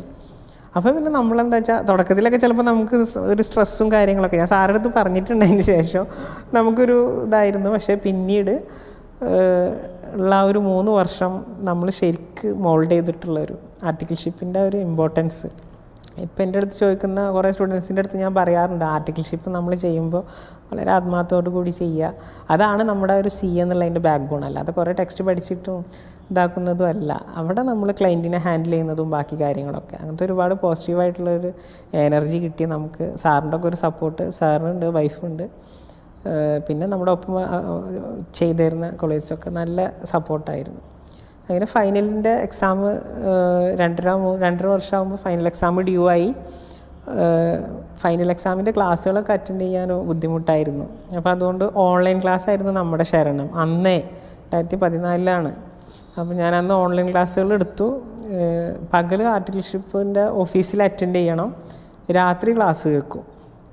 രാത്രി എന്ന് പറയുമ്പോൾ ഒരു ഒമ്പത് മണി മുതൽ വീട്ടിൽ കുറച്ച് അംഗസംഖ്യ കൂടുതലുകൊണ്ട് കുറച്ച് ബഹളമായാണ് എപ്പോഴും. അപ്പോൾ ഞാനൊരു ഒമ്പതരക്കെ ആകുമ്പോൾ പഠിക്കാതിരിക്കുക പത്ത് മണി. ഒമ്പതര പത്ത് മണി മുതൽ ഒരു പന്ത്രണ്ടര അങ്ങനത്തെ ആ ഒരു റേഞ്ചിലാണ്. പിന്നെ ഓഫീസിൽ നിന്ന് ലീവ് കിട്ടി ഫുൾ ടൈം ആയിട്ട് ക്ലാസ് കേട്ടു തൃശ്ശൂർ പോയി എക്സാം എഴുതി. As usual final first exam പൊട്ടി എന്ന് തന്നെ പറയാം. സെക്കൻഡ് അറ്റംപ്റ്റ് വീണ്ടും ആർട്ടിക്കൽഷിപ്പിന്റെ സമയത്ത് തന്നെ ആയിരുന്നു. ഫസ്റ്റ് ഗ്രൂപ്പ് മാത്രം പോയി അറ്റൻഡ് ചെയ്തു. ക്ലിയർഡായി ഫസ്റ്റ് ഗ്രൂപ്പ് ക്ലിയർഡായി ഫസ്റ്റ് ഗ്രൂപ്പ് ക്ലിയർ ചെയ്തു. പിന്നെ നമ്മൾ ഫസ്റ്റ് ഗ്രൂപ്പ് ക്ലിയർ ചെയ്തു എന്നുള്ള ഒരു മുഹൂർത്തം റിസൾട്ട് വന്നതൊക്കെ നമ്മളെന്താ പറയുക ഒരു സന്തോഷത്തിന്റെ അങ്ങേയറ്റം പരകോടി എന്ന് പറയില്ലേ? കാരണം വെച്ചാൽ നമ്മൾ ഒരിക്കലും ആർട്ടിക്കിൾഷിപ്പ് കംപ്ലീറ്റ് ചെയ്യാന്നുള്ളതൊന്നും നമ്മൾ വിചാരിച്ചതേ ഇല്ല. അങ്ങനത്തെ ഒരു ഇതിൽ ഫൈനലിൽ നമ്മുടെ ഒരു പേരിന്റെ ബാക്കിൽ നമ്മളിങ്ങനെ സി പി ടി പഠിക്കുമ്പോൾ അല്ലെങ്കിൽ സി എന്നുള്ള കോഴ്സിനെ പറ്റി കേൾക്കുമ്പോൾ തന്നെ രണ്ടക്ഷരം നമ്മുടെ പെന്നിൽ ഇങ്ങനെ ചെറിയ രീതിയിൽ തെളിയുകയാണെന്നൊക്കെയുള്ള ഒരു ഫീലിംഗ് ആണ്. അത് പറഞ്ഞാൽ ഒരു നമുക്കൊരു ഇത് കിട്ടില്ല. അങ്ങനെ വളരെ പീക്കായിട്ടുള്ളൊരു മെന്റാലിറ്റി നിൽക്കുമ്പോഴാണ് നമുക്കൊരു പി എസ് സിയുടെ ഒരു എക്സാം നോട്ടിഫിക്കേഷൻ വന്നു കൊമേഴ്ഷ്യൽ ടാക്സ് ഓഫീസർ എന്ന് പറഞ്ഞിട്ട്. അതെന്നോ ആർട്ടിക്കിൾഷിപ്പ് ചെയ്യുന്ന സമയത്തെന്നോ അപ്ലൈ ചെയ്തായിരുന്നു. അപ്പോൾ റിസൾട്ട് വന്നപ്പോൾ ഞാൻ എന്ത് ചെയ്തു? പോയിട്ട് ഇത് വളരെ മൂടോട് കൂടിയിട്ട് പി എസ് സിയുടെ ഒരു എക്സാം അല്ലേ? മിസ്സാക്കണ്ട വെച്ചിട്ട് അത് പോയി എഴുതി വന്നു. പിന്നെ സെക്കൻഡ് ഗ്രൂപ്പിലേക്ക് കോൺസെൻട്രേറ്റ് ചെയ്തു. സിയുടെ സെക്കൻഡ് ഗ്രൂപ്പ് ഫൈനൽ സെക്കൻഡ് ഗ്രൂപ്പിലേക്ക് കോൺസെൻട്രേറ്റ് ചെയ്തിട്ട്. സെക്കൻഡ് ഗ്രൂപ്പ് നല്ല രീതിയിൽ പഠിച്ചുകൊണ്ടിരിക്കുക. ക്ലാസ് പേയ്മെന്റൊക്കെ നടത്തിയിട്ട് ഓൺലൈൻ ക്ലാസ്സുകളൊക്കെ എടുത്തു. മെയ് രണ്ടായിരത്തി പതിനഞ്ച് മെയ്യിലാണ് എക്സാം ഡ്യൂ ആവുന്നത്. അപ്പോൾ അതിന്റെ ഒരു രീതിയിൽ. കാരണം വെച്ചാൽ നമ്മൾ ക്ലിയർ ചെയ്തു. മെന്റലി നമ്മൾ ക്ലിയർ ചെയ്തു. കാരണം നമ്മൾ ഹാപ്പിയാണ് ഒരു ഫെബ്രുവരി ലാസ്റ്റ് ആയപ്പോൾ ആയപ്പോഴേക്കും പനി. നമ്മുടെ പഴയ പനി. പനി വീണ്ടും വന്നു. അസ്വസ്ഥകരാവാൻ അസ്വസ്ഥതരാവാൻ തുടങ്ങി. ഒരാഴ്ചയോട് കൂടിയിട്ട് കിടപ്പിലായി. കിടപ്പിലായി എന്ന് പറയുമ്പോൾ തിരിഞ്ഞു മറിഞ്ഞു നമുക്ക് കിടക്കാൻ പറ്റാത്ത രീതിയിലേക്ക് മാറിയ അവസ്ഥ. അവരൊറ്റ ആഴ്ച കൊണ്ട് തന്നെ നമ്മളങ്ങനെ ആയപ്പോൾ നമ്മൾ മെന്റലി ആകെ കാരണം വെച്ചാൽ നമ്മുടെ അപ്പോൾ നമുക്ക് ഫുൾ എക്സാം മാത്രമേ ഉള്ളൂ കോൺസെൻട്രേ നമ്മുടെ ഒരു മെൻ മനസ്സിൽ വരിക അപ്പോൾ എന്ത് ചെയ്തു? ആശുപത്രിയിൽ അഡ്മിറ്റ് ആവേണ്ടി വന്നു. അത് ഒഴിവാക്കാൻ പറ്റിയിരുന്നില്ല. ആശുപത്രിയിൽ അഡ്മിറ്റായി അവിടെയും ബുക്കൊക്കെ കൊണ്ടുപോയിട്ട് എന്തൊക്കെ കാട്ടാനൊക്കെ നോക്കിയിരുന്നു. പക്ഷേ ഈവൻ നമുക്ക് ജസ്റ്റ് ഇങ്ങനെ ഇരുന്നിട്ട് ബുക്കിലേക്ക് നോക്കാൻ പോലും പറ്റാത്ത ഒരു സിറ്റുവേഷനിലേക്ക് മാറി. എക്സാം എങ്ങനെയെങ്കിലും എഴുതണം എഴുതണം എന്നുള്ള ആഗ്രഹം തന്നെ. ഇരുപതോ ഇരുപത്തൊന്നോ ദിവസം ആശുപത്രിയിൽ കിടന്നു ഡിസ്ചാർജായി വന്നു. ബുക്കിന്റെ മുന്നിൽ ഇരുന്നാൽ നമുക്ക് കഴുത്ത് നമുക്ക് ഈ ഒരു ഡയറക്ഷനിൽ കൊണ്ടുവരാൻ പറ്റില്ല. കഴുത്ത് കൊണ്ടുവരുമ്പോൾ എനിക്കിപ്പോഴും ഓർമ്മയുണ്ട്. ടാക്സിന്റെ ഏതോ ബുക്ക് ഞാൻ മറിച്ച് വെച്ചിരിക്കാം കഴുത്ത് ഇങ്ങനെ കൊണ്ടുവരുമ്പോൾ നമുക്കിങ്ങനെ കഴുത്ത് കൊണ്ടുവരുമ്പോൾ അതിനനുസരിച്ച് കണ്ണീര്. സങ്കടം കൊണ്ടല്ല നമ്മുടെ ഒരു എന്താ പറയുക പെയിൻ കൊണ്ട് നമുക്ക് എന്താ പറയുക കണ്ണീര് വന്നിട്ട് വേണ്ട പഠിക്കുക എക്സാമൊക്കെ മാറി നിൽക്കുക എന്ന് പറഞ്ഞിട്ട് നമ്മൾ തന്നെ കാരണം വെച്ചാൽ നമ്മൾ അത്രയും ഒരു ഇത് എന്താ പറയുക ആഗ്രഹിച്ച് തുടങ്ങിയിട്ടുള്ള ഒരു സംഭവം നമ്മളവിടെ വേണ്ട എന്ന് പറഞ്ഞിട്ട് മാറ്റി വെച്ചിട്ട് നമ്മളവിടെ കെടുക്കുകയാണ് പഠിത്തം വേണ്ടെന്ന് പറഞ്ഞിട്ടാണ് നമുക്ക് മാറ്റി വെക്കുക എന്ന് പറയുമ്പോൾ അന്നത്തെ ഒരു സമയം അങ്ങനെ. അപ്പോൾ നമുക്ക് ഇനിയിപ്പോൾ ഇതിൽ തിരിച്ചു വരവോ അല്ലെങ്കിൽ എന്തെങ്കിലും എഴുതാൻ പറ്റുമോ ഒന്നും നമ്മളപ്പം ആലോചിച്ചില്ല. അങ്ങനെ ഒരു വീണ്ടും ഒരു കംപ്ലീറ്റ് ആവാൻ പറ്റില്ല എന്നുള്ള രീതിയിലേക്ക് വീണ്ടും ഇങ്ങനെ പോകുമ്പോൾ വേറൊരു ഡോക്ടറെ കണ്ടു. ജോർജ് വർഗീസ് എന്ന് പറഞ്ഞിട്ടുള്ളൊരു ഡോക്ടറാണ് തൃശ്ശൂർ സാറ് പോയി കണ്ടതിന് ശേഷം സാറ് കുറച്ച് മെഡിസിനൊക്കെ തന്നു. ഒരാഴ്ച കഴിഞ്ഞപ്പോൾ എനിക്ക് ഇരു ഇരിക്കാൻ പറ്റാൻ തുടങ്ങി. ഇരുന്നിട്ട് പുസ്തകം നോക്കാൻ പറ്റാം അപ്പോൾ നമുക്കൊരു കാരണം വെച്ചാൽ ഏപ്രിൽ മിഡ് ആയിക്കണം അപ്പോൾ. ഏപ്രിൽ പകുതി കഴിഞ്ഞിരിക്കണേ മെയ്യിലാണ് എക്സാം മെയ് പകുതിക്കാണ് എക്സാം അപ്പം ഞാൻ എന്ത് ചെയ്തു? ഒരു സ്ട്രാറ്റജി നമുക്ക് എക്സംഷൻ ട്രൈ ചെയ്താലോ? ഏതെങ്കിലും ഒരു സബ്ജക്റ്റ് മാത്രം കോൺസെൻട്രേറ്റ് ചെയ്യാമെന്നൊക്കെ കുറച്ച് സമയമുണ്ടല്ലോ. എക്സാം എഴുതാതിരിക്കുമ്പോൾ എന്തോ ഒരു വിഷമം. അപ്പോൾ എന്ത് ചെയ്തു? ഇൻഡയറക്റ്റ് ടാക്സ് എടുത്ത് നോക്കൽ തുടങ്ങി. അതാണ് ഞാൻ പേയ്മെന്റ് നടത്തിയിട്ട് വാങ്ങിയിട്ടുണ്ടായിരുന്നത്. ഓൺലൈൻ ക്ലാസ് അപ്പോൾ പിന്നെ അത് മുതലാക്കാമല്ലോ എന്ന് വിചാരിച്ചിട്ട് അങ്ങനെ പഠിച്ചു. എല്ലാ എക്സാമുകളും പോയി എഴുതി. ഡോക്ടറിന്റെ കൺസൾട്ടിങ്ങിന്റെ പോയ സമയത്ത് ഡോക്ടർ പറഞ്ഞ് ഫൈനൽ സ്റ്റേജ് എത്തിയിരിക്കുന്നത് hip joint right hip joint അപ്പോൾ സർജറി ചെയ്തിട്ടില്ല എന്നുണ്ടെങ്കിൽ ഫുൾ ടൈം ബെഡ് റിഡൺ ആവും എന്ന് പറഞ്ഞു. അപ്പോൾ എന്ന് വെച്ചാൽ ഒരുപാട് കോസ്റ്റ് വേണം ചെയ്യാനൊക്കെ. നമ്മൾ അതൊക്കെ എങ്ങനെയെങ്കിലും ഒപ്പിക്കുക എന്നുള്ള രീതിയിലായി. അപ്പോൾ ഞാൻ പറഞ്ഞത് എനിക്ക് മെയ്യിലൊരു എക്സാം ഉണ്ട് സാറേ. ഞാൻ അത് കഴിഞ്ഞിട്ട് വരാമെന്ന് പറഞ്ഞിട്ട് ഇങ്ങോട്ട് പോകുന്നു മെയ്ത്ത് എക്സാമൊക്കെ കഴിഞ്ഞ് കുറച്ച് പ്ലാൻ ചെയ്തു. ജൂണിൽ രണ്ടായിരത്തി പതിനഞ്ച് ജൂണിൽ സർജറി രണ്ട് നീ ജോയിന്റും മാറ്റി വെച്ചു. അതിന്റെ റെസ്റ്റിൽ ഇരിക്കുമ്പോഴാണ് റിസൾട്ട് വന്നത്. റിസൾട്ട് വന്നപ്പോൾ എല്ലാതും സബ്ജക്റ്റ് ബാക്കിയുള്ള സബ്ജക്റ്റ് നോക്കിയിട്ടൊന്നുമില്ല. പക്ഷേ മാർക്ക് എല്ലാം ബിലോ ഫോർട്ടി ഫോർട്ടി കടന്നതും ഉണ്ടായിരുന്നു ഒരെണ്ണം. ഐ ഡി ടി കോൺസെൻട്രേറ്റ് ചെയ്ത സബ്ജക്റ്റ് കറക്റ്റ് അറുപത് മാർക്ക് അന്നത്തെ ആ ഒരു കറക്റ്റ് അറുപത് മാർക്ക് അതിൽ തന്നിട്ടില്ല എന്നുണ്ടെങ്കിൽ അടുത്ത മൂന്ന് അറ്റംപ്റ്റ് ഞാൻ എഴുതാൻ നമുക്ക് തോന്നില്ല. കാരണം വെച്ചാൽ നമ്മളൊരു തിരിച്ച് കറക്റ്റ് ഫുള്ള് തിരിച്ചു വരണം. ഇതൊരു അഡ്വാന്റേജ് എന്ന് പറയുമ്പോൾ മൂന്ന് സബ്ജക്റ്റ് എഴുതിയാൽ മതി. എന്നുള്ളൊരു അഡ്വാന്റേജ് ഉണ്ട്. അപ്പം വെച്ചാൽ അടുത്തൊരു മൂന്ന് അറ്റംപ്റ്റ് ഇപ്പോഴും ഞാൻ ആലോചിക്കും. പക്ഷേ അങ്ങനെ ഒരു ഇത് തന്നതെന്ന് വെച്ചാൽ മനസ്സവിടെ കൊളത്തിയിടാൻ വേണ്ടിയിട്ടാണ്. അല്ലാന്നുണ്ടെങ്കിൽ ഒരു തിരിച്ചു പോക്ക് തന്നെ ആയിരിക്കും. കാരണം വെച്ചാൽ ഫിസിക്കലി അത്രയും സ്ട്രെയിൻ ആയിട്ടുള്ള സമയങ്ങളായിരുന്നു. അടുത്ത അറ്റംപ്റ്റിൽ നവംബറത്തെ അറ്റംപ്റ്റിൽ മൂന്ന് സബ്ജക്റ്റ് എഴുതിയാൽ മതി. അപ്പോൾ ഞാൻ ഹീ ജോ നിപ്പ് ജോ നീ ജോയിന്റ് കഴിഞ്ഞു പിന്നെ ഹിപ്പിലേക്കുള്ളതാണ് സർജറി. അത് രണ്ടും രണ്ട് ഘട്ടമായിട്ട് നടത്തണം. അപ്പോൾ എന്ത് ചെയ്തു? ഒക്ടോബറിലേക്ക് പ്ലാൻ ചെയ്തു സർജറി. അപ്പോൾ ഞാൻ പറഞ്ഞു വേണ്ട നവംബർ കഴിഞ്ഞിട്ട് ചെയ്യാം. നവംബർ ലാസ്റ്റ് ചെയ്യാം എന്ന് പറഞ്ഞു. കാരണം എക്സാം അറ്റൻഡ് ചെയ്യാന്നുള്ളത് തന്നെ അപ്പോൾ ഡോക്ടർ ഓക്കെ സമ്മതിച്ചു. പക്ഷെ സെപ്റ്റംബർ ലാസ്റ്റ് ഒക്കെ ആകുമ്പോഴത്തേന് വീക്കാവൽ തുടങ്ങി. ഹിപ്പ് തീരെ നമുക്ക് ഇരിക്കാനോ ഒന്നിനും പറ്റാത്ത രീതിയിൽ തന്നെ ആയിരുന്നു. ഓക്കെ സർജറി ചെയ്യാമെന്ന് വെച്ചു. ഒക്ടോബറിൽ എന്ത് ചെയ്തു? റൈറ്റ് ഹിപ്പ് ജോയിന്റ് സർജറി കഴിഞ്ഞു. നവംബർ എക്സാം പിന്നെ ലാപ്സായി പിന്നീട് അടുത്ത് ലെഫ്റ്റ് ഹിപ്പ് ജോയിന്റും സർജറി കഴിഞ്ഞു. പിന്നെ നമുക്ക് ഇരിക്കാനൊക്കെ പാടാണ്. ജോയിന്റ് ചെയ്താൽ നമുക്ക് ഇരിക്കാൻ തന്നെ പാടില്ല. ഏകദേശം ഒന്നൊന്നര വർഷത്തോളം നമ്മളിങ്ങനെ കിടപ്പിൽ തന്നെയാണ്. മലർന്ന് കിടക്കണം. ചെരിയാനൊന്നും പാടില്ല. പിന്നെ നമ്മുടെ എക്സാമും കാര്യങ്ങളൊക്കെ കോഴ്സ് അതൊക്കെ നമ്മുടെ കയ്യിൽ നിന്ന് ഇങ്ങനെ പോവുക നമ്മൾ മെന്റലി അങ്ങനെ ഉണ്ട് സ്യൂട്ടാവുകയാണ് ഓരോ സാഹചര്യം വരുമ്പോൾ അങ്ങനെ ഒരു സ്യൂട്ടാവുകയാണ് കോഴ്സ് ചെയ്യുന്ന ആൾ തന്നെയാണ്. ഇത്ര എക്സാമുകൾ എഴുതിയാൽ മതി. ആ എക്സംഷൻ കിട്ടിയത് അതിന്റെ ഇടയിൽ ലാപ്സായി മൂന്ന് അറ്റംപ്റ്റ് എഴുതാൻ പറ്റാതെ. പിന്നീട് ഇരുന്നിട്ട് എക്സാം എഴുതാൻ നമുക്ക് ട്രെയിൻ ഇങ്ങനെ ട്രെയിൻ ചെയ്തിട്ട് വരേണ്ടി വന്നു. എക്സാം എഴുതി ഫെയിൽ കാരണം വെച്ചാൽ നമുക്ക് പ്രിപ്പറേഷൻ എന്ന് പറയുമ്പോൾ നമുക്ക് അങ്ങനെ പഴയ ഒരു രീതിയിലേക്ക് നമുക്ക് നമുക്ക് മെന്റലി നമ്മൾ ടച്ച് വിട്ടു ഫിസിക്കലിയും വിട്ടു. ഒരു വലിയൊരു ഗ്യാപ്പ് വന്നോട് കൂടിയിട്ട്. രണ്ട് രണ്ടര വർഷത്തോളം ഗ്യാപ്പ് വന്നു.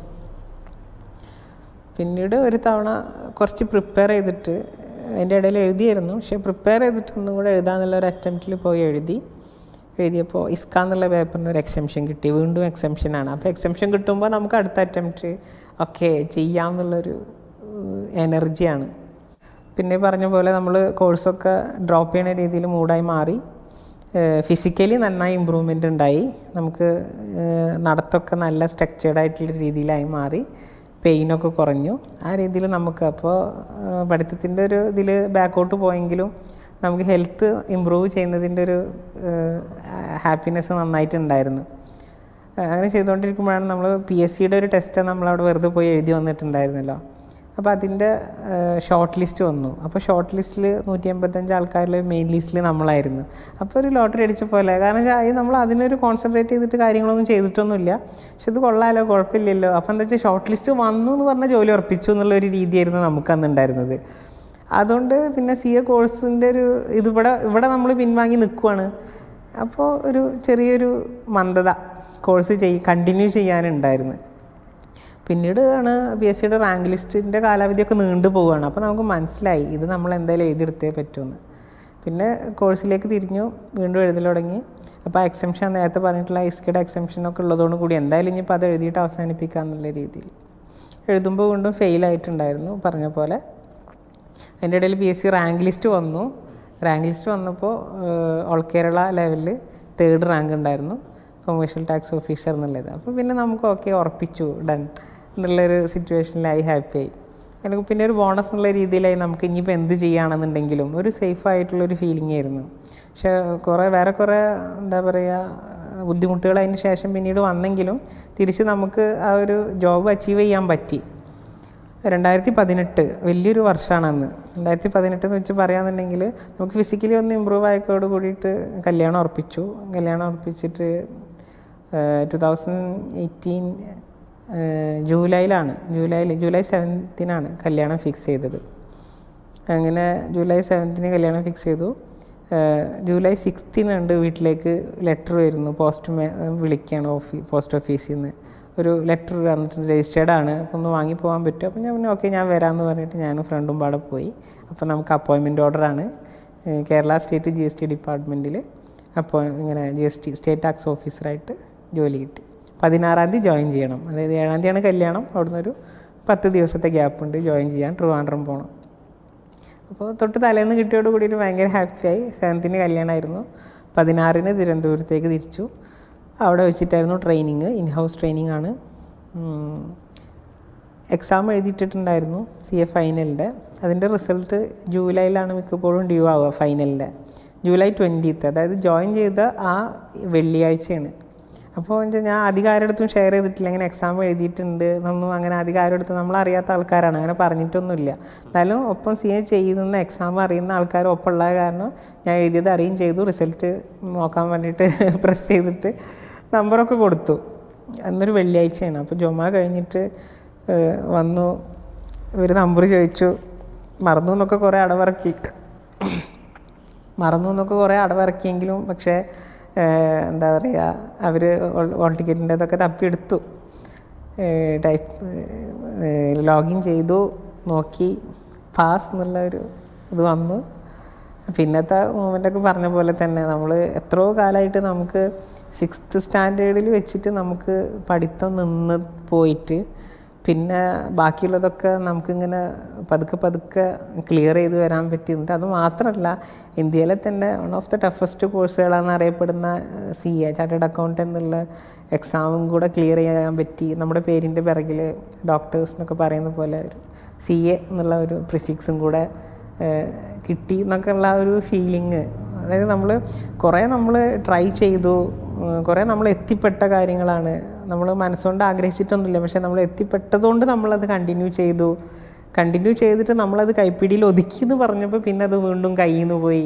പിന്നെ ഇത് വേണ്ട എന്ന് പറഞ്ഞിട്ട് നമ്മളാക്കിയിരിക്കുമ്പോഴാണ് പിന്നീട് വീണ്ടും എന്താ പറയുക ആഗ്രഹങ്ങളായിട്ട് വീണ്ടും അതന്നെ വരുന്നത്.